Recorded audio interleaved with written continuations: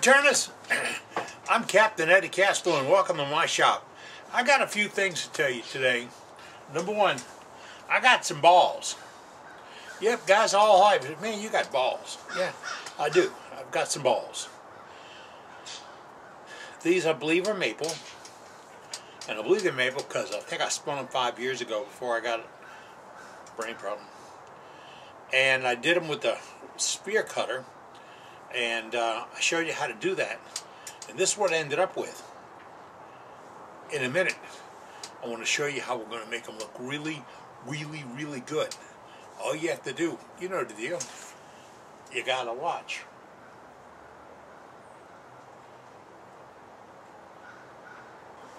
You really got some balls.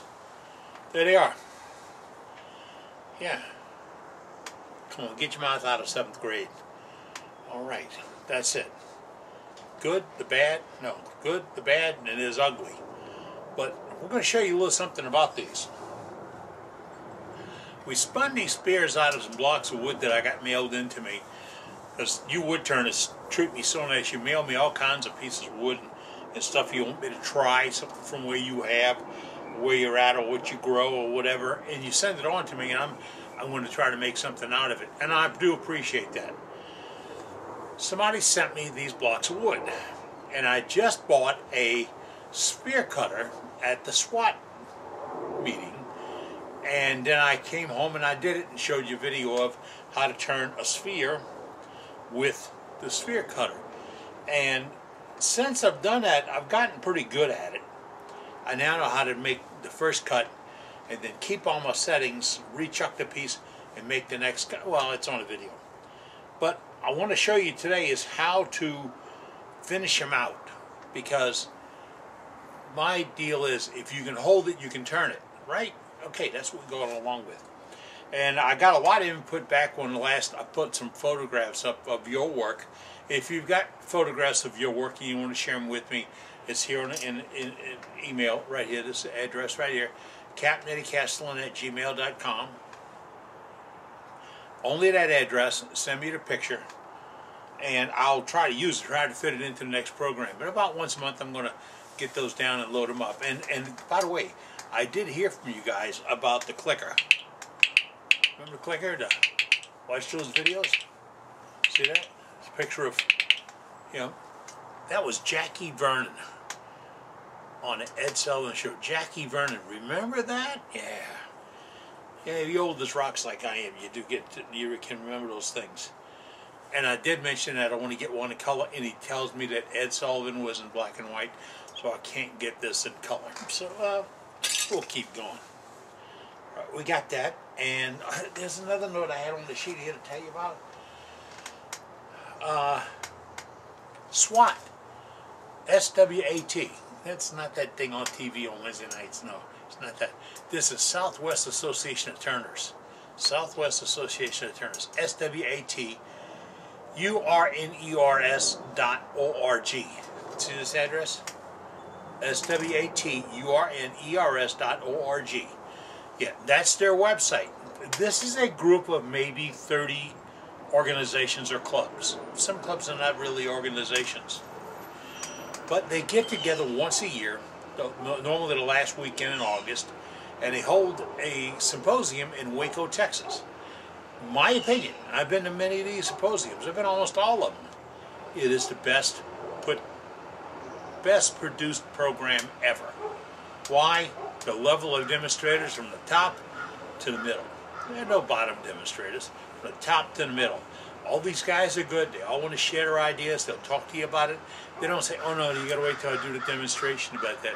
No, there, there's no little bitty finger holding up. Now they just do what they got to do. If you got a question, you can ask it. If you got a problem, you can bring it. If you got a tool you don't know how to sharpen, bring it there. They'll show you how to sharpen that tool. They will. There's people there selling tools, wood, cutters, sandpaper, Niles is there with bottle stoppers, acrylic plastics. Everybody that's somebody that you need to know in wood turning is at SWAT. It's August uh, 22 through 25 at the Waco Convention Center, Waco, Texas. That's a great town to visit. It's kind of hot. Good thing you can go outside and see that. Now we're going to do this with these balls. I want to show you the rig. I'm going to move you over here so you can see the rig. You got it? You got it. Let's get started back here at the lathe. And the other day I told you I had a, a moisture problem and I was getting a lot of corrosion on the bed of my lathe and things were sticking because the humidity down here some days you can cut through. Um, so I, a guy called me yesterday and he said, go get you some of this. Boeshield T9. This is a Boeing aircraft company product. Boeing Shield T9. And it doesn't leave a residue that'll track onto my wood, which is really good.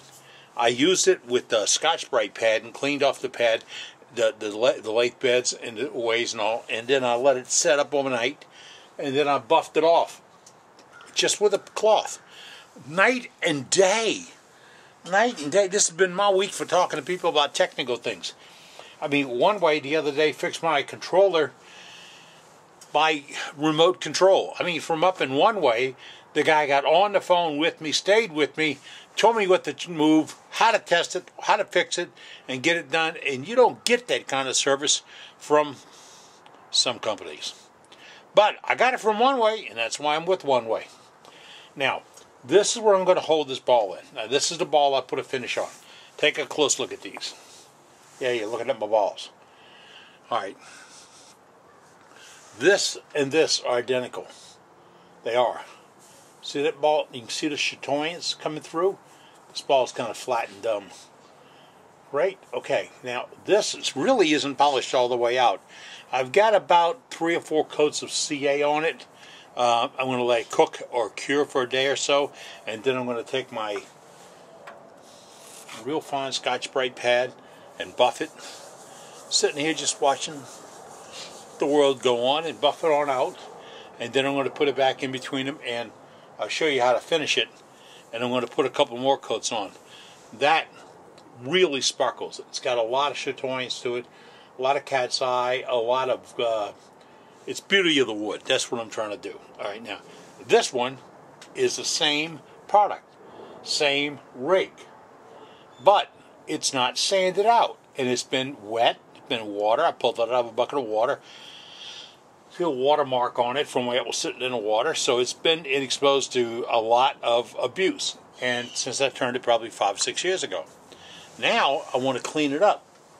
Oh, I got a great thing. If you're holding, putting a ball down on a table, that cap from that Boeshield works great to hold the balls. Um, this is the rig. Now, I was making this rig to run my vacuum chuck through and put it on my vacuum rig, and I'm missing one little part to make it work. And it's back here, and I'm back cleaning up the shop. And as I'm cleaning up and throwing things away, I just threw away a thousand dollars worth of grinding wheels about ten minutes ago because I can't be sure they're safe. I'm not going to take a chance. But I was going to put this on a vacuum chuck, and then I could bring this up, turn on the vacuum, and whoop, behold, right there. That's how I've done it before. Then I got to thinking, maybe all you wood turners don't have a vacuum chuck. And I don't want to tell you that you got to go buy a hundred dollar pump and fifty dollars of parts or sixty dollars of parts or go to catalog services or all that. No, I want to keep this where it's basic. All right, so Here's the rig. I got a little faceplate and I've got a piece of two inch coupler.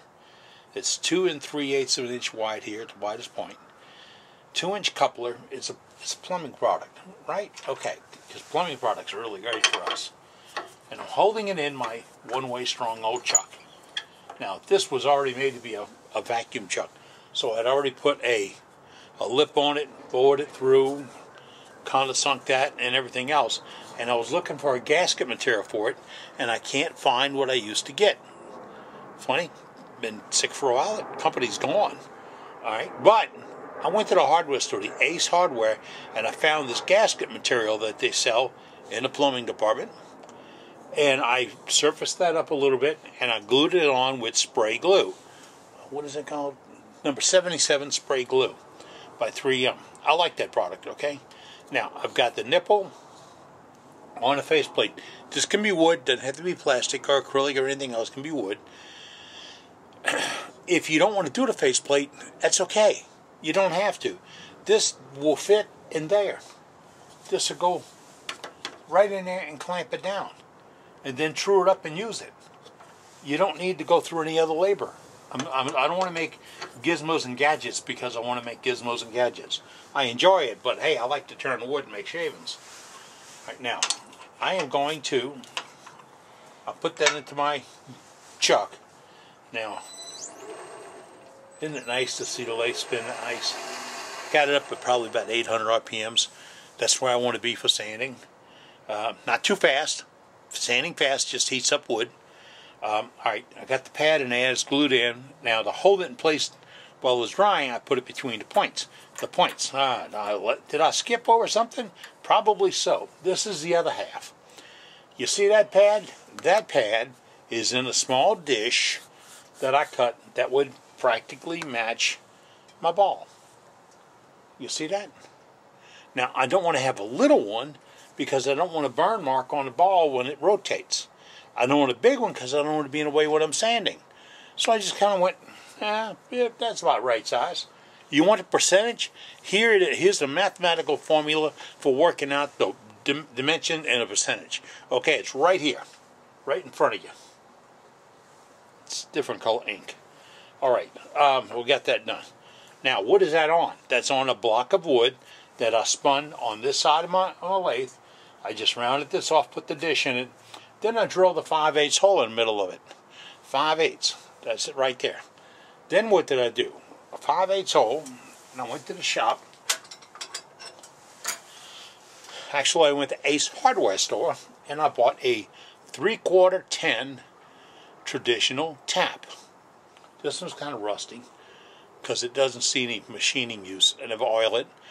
This 3 quarter 10 tap is what I, while it was still being held, like this, I went in and put the 3 quarter tap, put the center on it, brought it up real slowly, and turned it with a crescent wrench. I have a metric and a standard. I used a standard crescent wrench, and I thread it in. Don't push too hard. You don't want to tear up the threads. This is a piece of mahogany. Right? It holds threads really nice. So I could go in and thread it. See it threaded in there? There, there you go. You see it? All right. That is threaded three quarter ten. The three quarter ten fits onto my revolving center, which this is a one-way revolving center. They're also made by Jet or Black & Decker and Robust and a couple other folks. The revolving center allows, I got the pin in it to hold it, allows me to thread this on. See that? Okay. Then I pull my pin out. Now it revolves, right? Okay. Now, you see where I'm going? I've got this being held here. This will put pressure up against it, and we'll be ready to sand.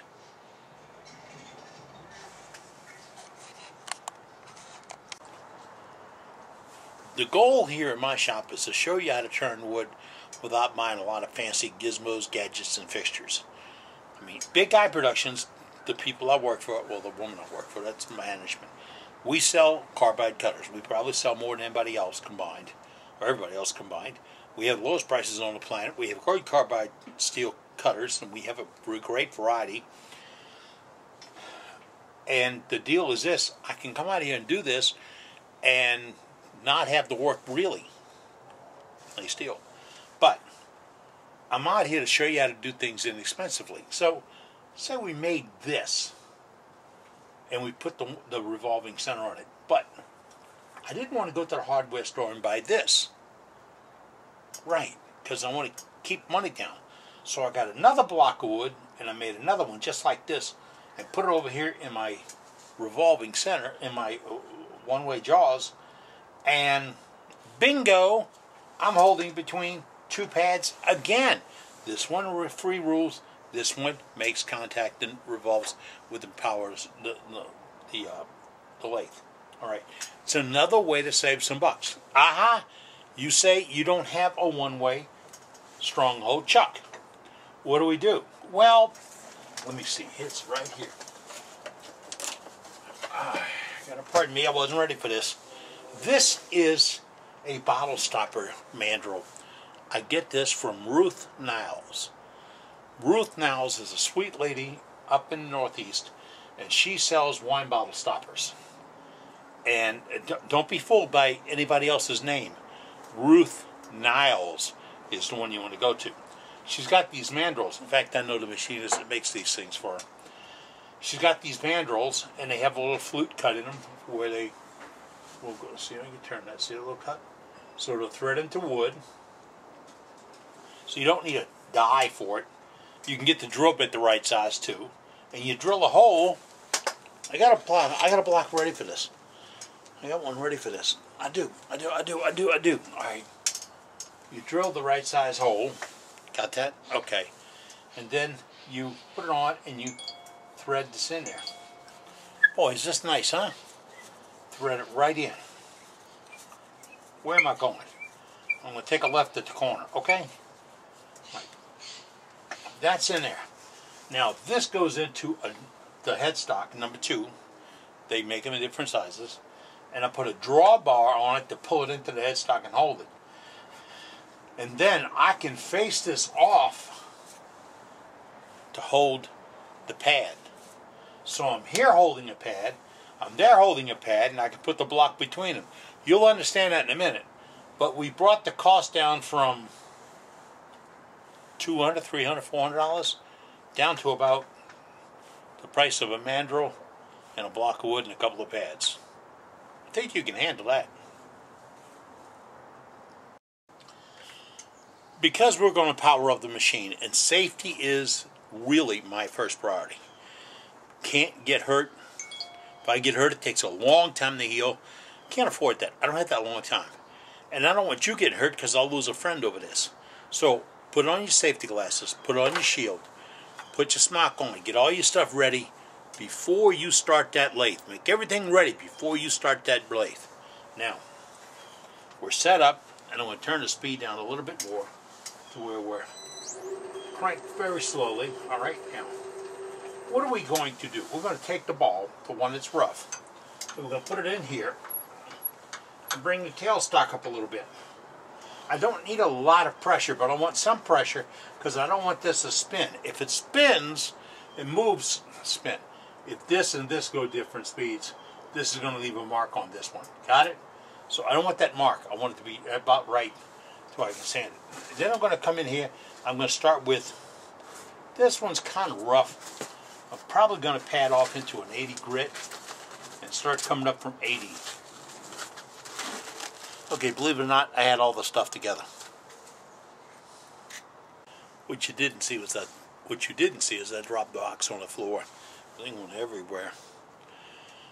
Pick it all up, start all over again. Now, I did mention taking care of your eyes and all, but also, let's talk about the dust that's coming off of this. This is maple. I don't care what kind of wood it is. Dust is dust is dust. So let's do something about it. I have a little fan up there that blows down on my on my machine to blow the dust away from me slightly.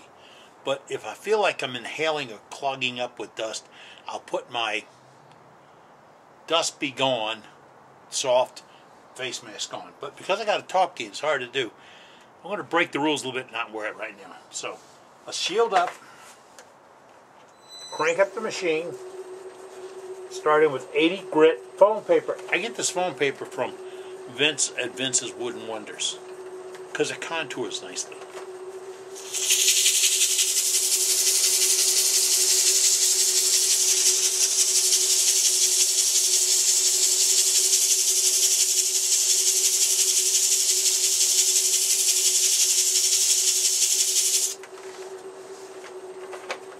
Now before you say, what's the big deal? You going to sand it out?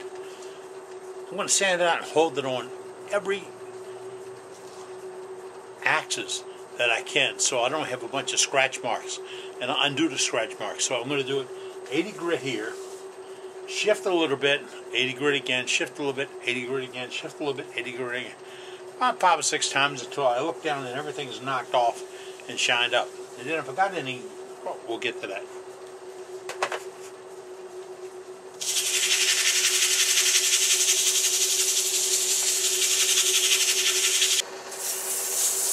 Here's the warning. I'm at 120 grit now. Pick it up so you can hear me. and I'm sanding it. I did the 80 by stopping it, loosening up the headstock, rotating it, stop, and did, yeah, yeah, yeah, yeah, to change the axis so I'm crossing the grain. I'm going to 120. Caution, do not overwork the sandpaper. If it's not sanding you see dust coming up, you're polishing or burnishing it. There's the dust.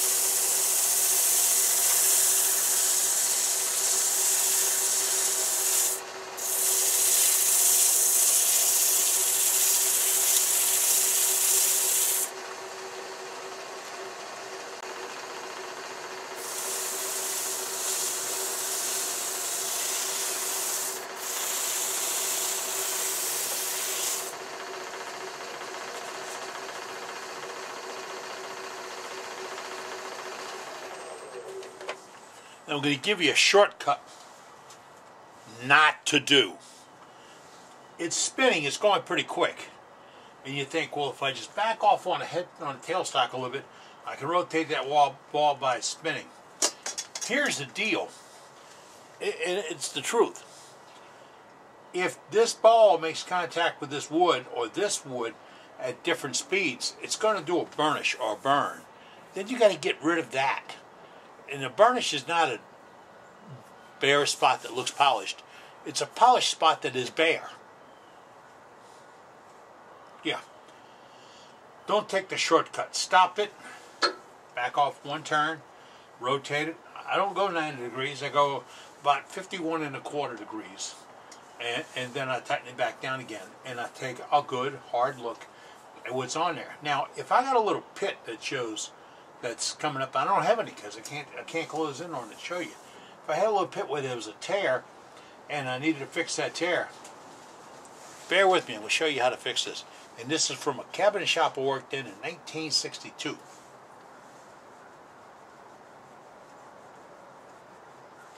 Yeah, I did that. Yep, I sure did that. I sure did spit on it. It's moisture. You can do water, but I always got this with me and it will raise the grain slightly. A little puff of grain here. And that depression that's in there, if you get it wet, the depression will fill back out and puff up a little bit. It's an old cabinet maker's trick. I remember watching a guy, lady come in, we finished a, a nice piece, and it was all veneered out and everything, and she said, what color's it going to be when we put the finish on it? He spit on it, rubbed it out. She didn't want the table after that. But that was how I was going to show what the color was going to be. All right, shield up.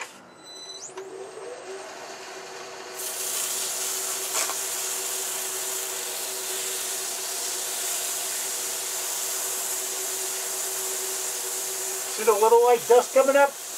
Means my paper's working.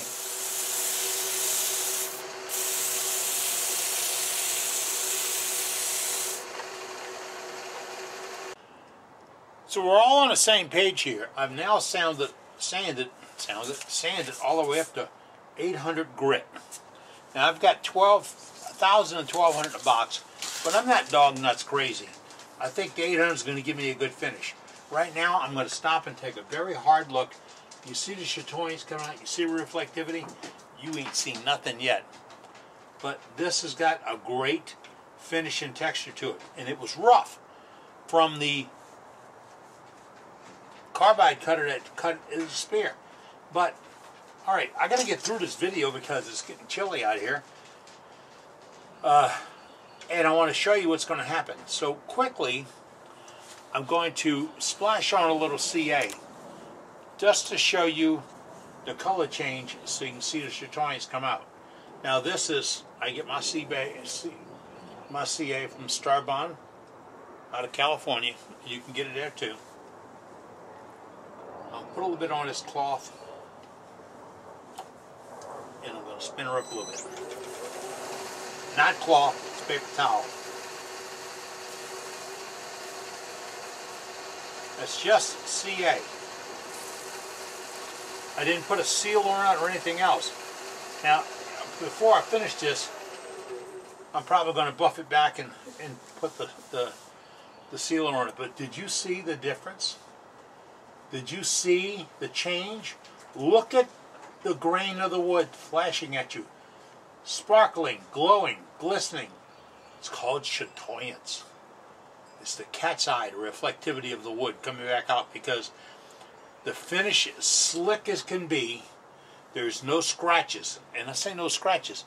I've sanded carefully. I went from 80, 120, 150, 180, 220, 320, 4, 6, and 800. Now, if I get to this point and I see any little imperfection or irregularities in it, I think need to be buffed out, I'll probably dampen up a thousand grit and buff it off a little bit. Or just take my hands and massage it with the grit to get it slicked out. But that's how easy it is to take something that was rough to something like this. Now I buff I buffed this down to hold it and show you some things. So I got to take take put the finish back on it again and polish it. And here's the beauty of CA. There is a beauty. The beauty of CA is it is the hardest finish by density, by impact, that you can apply to a piece of wood in your shop. I believe it is. Somebody might do a little chemical test and prove me wrong. Well, it happens. But it's a very durable, hard finish, and you can build it up.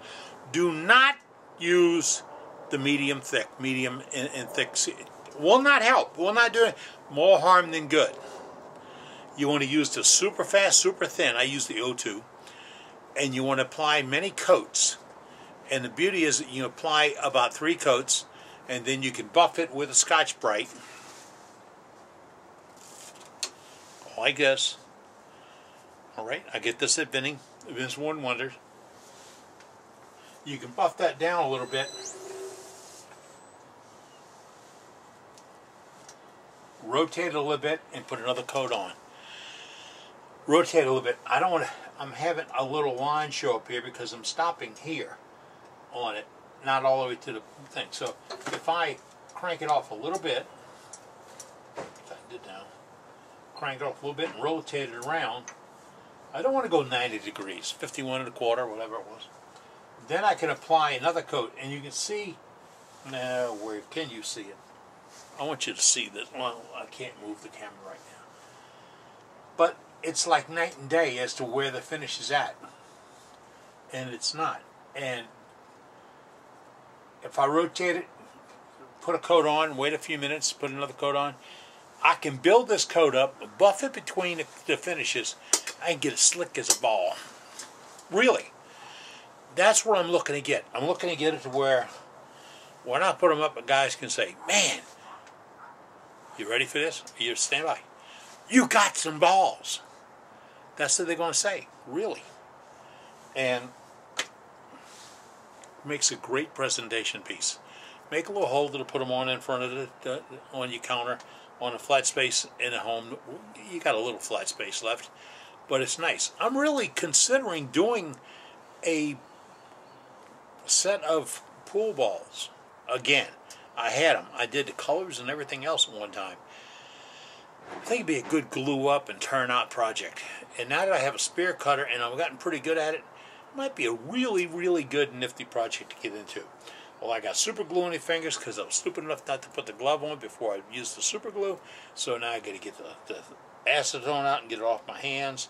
Um, and management just came and got me and said, let's go eat some lunch. I'm not going to pass up the deal like that. But you've finished out these projects.